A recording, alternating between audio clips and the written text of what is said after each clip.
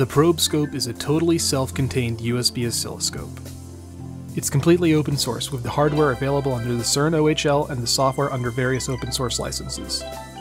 Imagine you cut the BNC jack off an oscilloscope probe and replaced it with a USB port. That's essentially what we've done with the Probe Scope. In terms of specs, we've built it to have similar capabilities to some of the popular entry level oscilloscopes.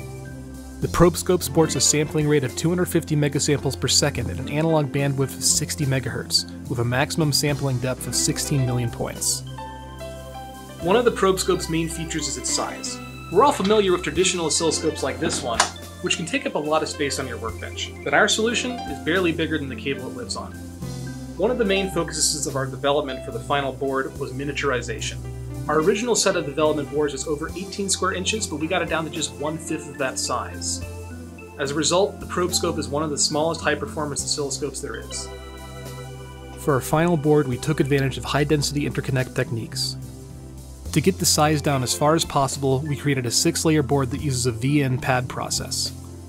This allowed us to put all the control electronics right along the cable. Most entry level oscilloscopes are over $100 per channel, but for the ProbeScope we're targeting a price point of right around $100. And while each ProbeScope is a single channel, our stacking mechanism allows you to have as many channels as you have USB ports. One channel isn't always enough, so we've designed the ProbeScope to be able to stack.